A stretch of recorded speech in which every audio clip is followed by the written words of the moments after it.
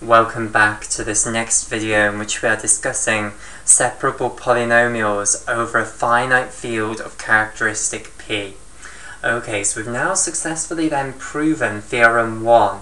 We've proven that if you have an irreducible polynomial in the ring of polynomials over your finite field of characteristic P, that that is going to be a separable polynomial.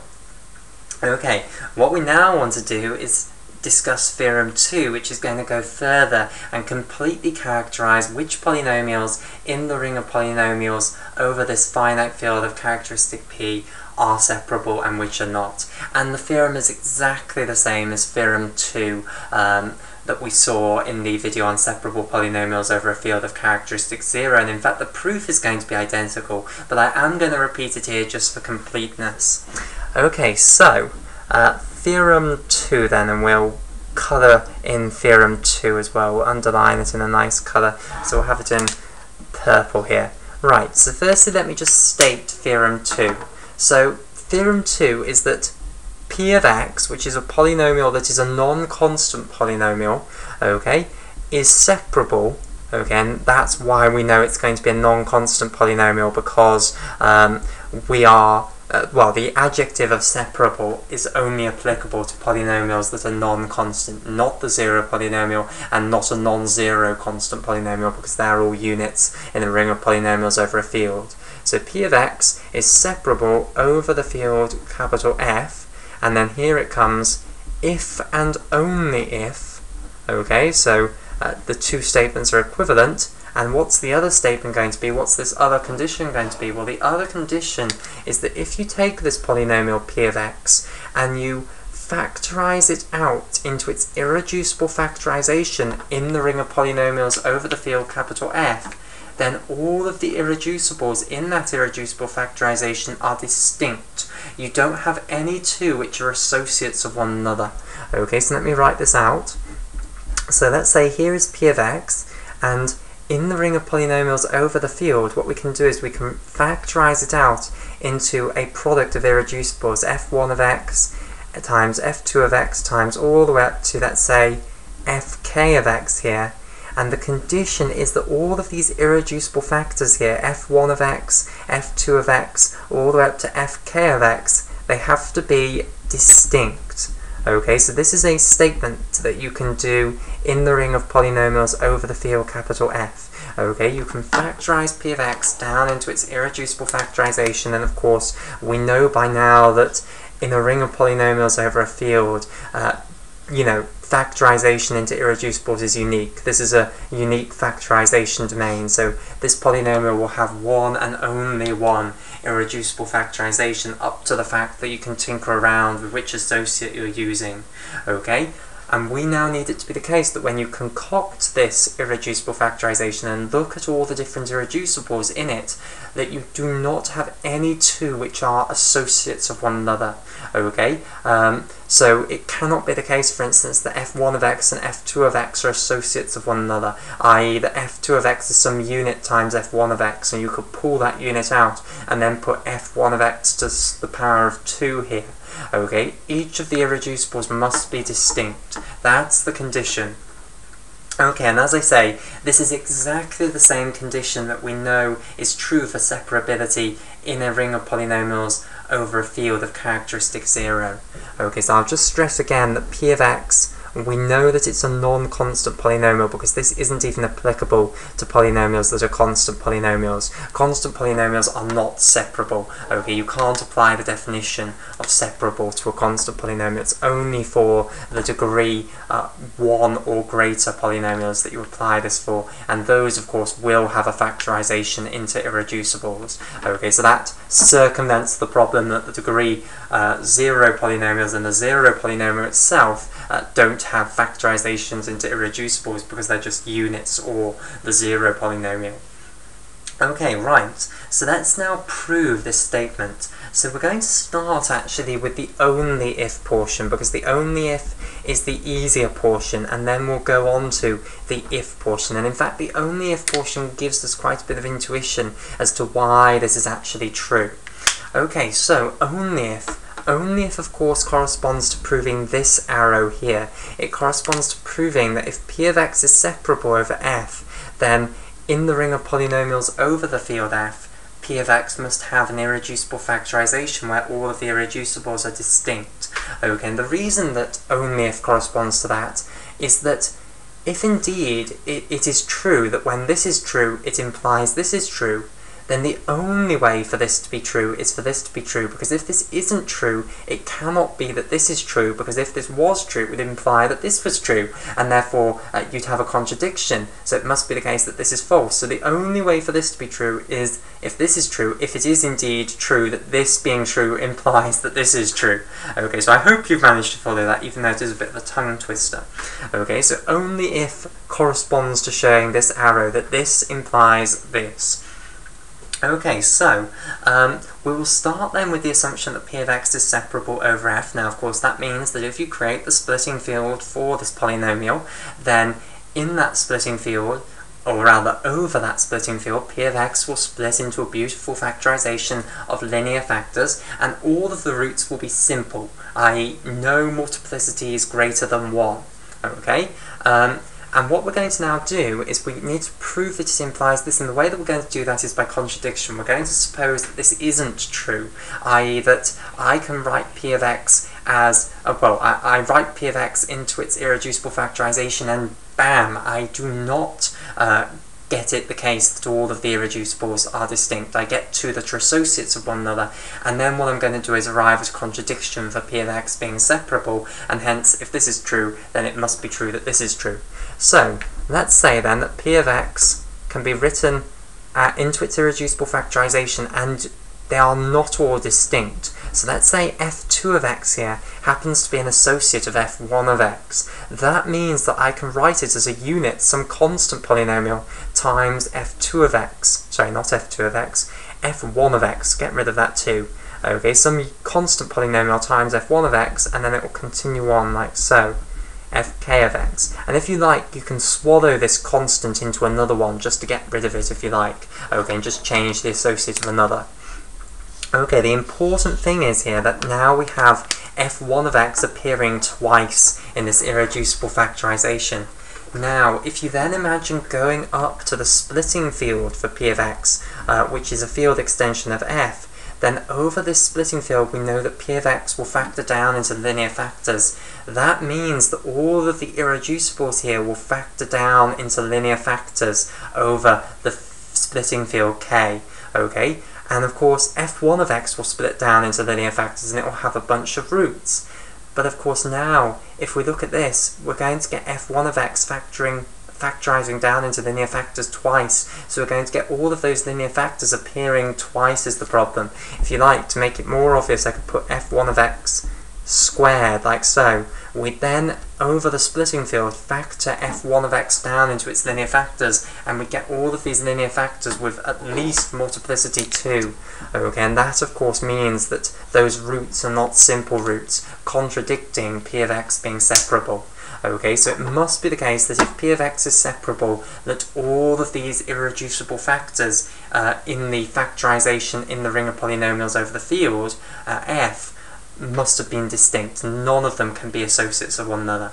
So there's the only if done, and now let's do the if, which is a slightly more difficult argument, but not too much more difficult.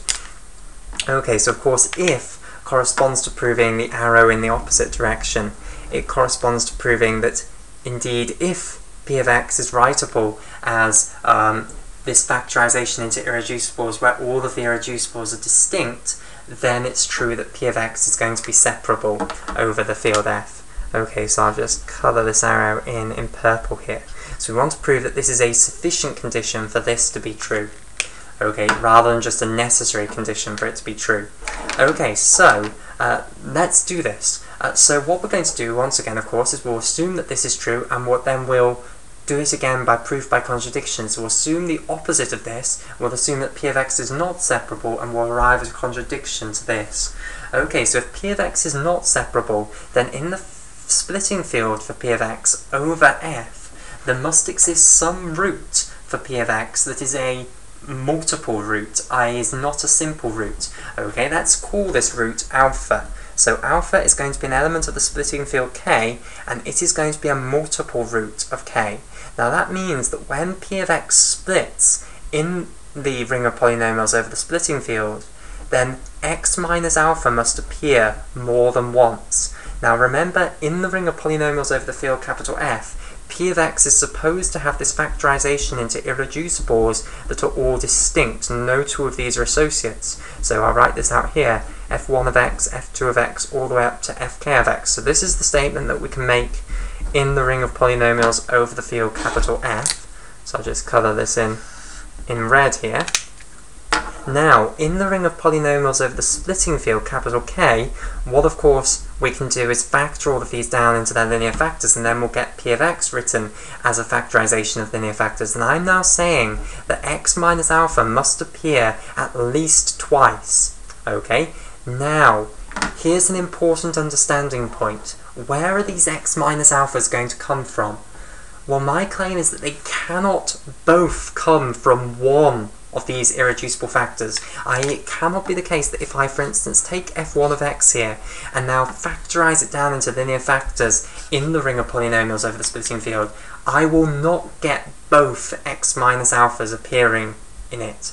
Oh, again, the reason is that these are all, remember, irreducible in the ring of polynomials over the field capital F. So by theorem 1, we know that they are separable okay, i.e. when you go into this splitting field, they are not going to have repeated roots, okay? They are only going to have simple roots. So if x minus alpha does appear in the factorization into linear factors for f1 of x over this splitting field here, it can only appear once, which means that it must appear, x minus alpha must appear in the factorizations into linear factors of two of these irreducible roots. And just arbitrarily, let's say it's f1 of x and f2 of x. So let's say f1 of x has the uh, linear factor x minus alpha and f2 of x has the linear factor x minus alpha. So understand that the reason I can say that, the reason I can say that x minus alpha squared doesn't completely come from f1 of x is because of theorem 1,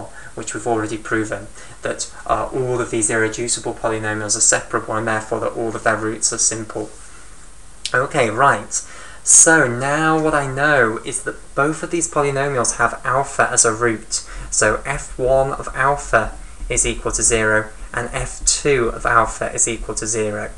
Okay, now what does this allow me to do? This, is, I claim, is going to allow me to conclude that these two polynomials, f1 of x and f2 of x, are not um, distinct they're associates of one another. And the reason is that alpha is obviously algebraic over the field capital F, okay, because look, it's the root of a non-zero polynomial here uh, over the uh, field at F.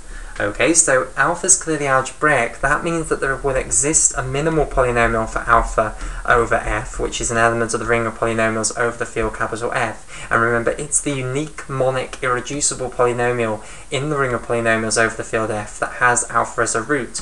And we know from our study of algebraic field extensions that any other polynomial in the ring of polynomials over the field F that has alpha as a root is going to be a multiple of this, i.e. it's going to be in the principal ideal generated by this. So I can now conclude that my polynomial f1 of x and my polynomial f2 of x are elements of the principal ideal generated by the minimal polynomial for alpha over f.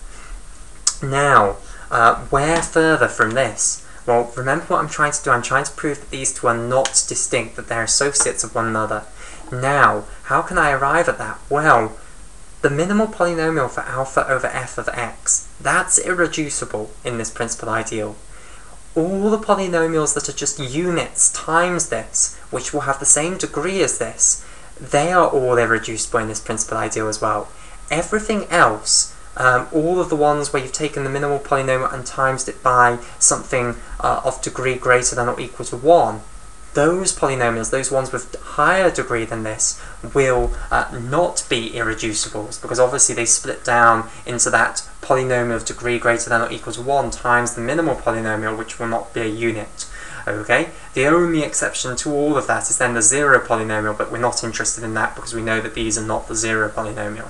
Okay, so if these two are going to be irreducible, they must just be units times the minimal polynomial for alpha over f. Okay, so I can write f1 of x as some constant polynomial, let's say c1, times the minimal polynomial for alpha over f, and I can write f2 of x as some constant polynomial, let's say c2, times the minimal polynomial for alpha over f.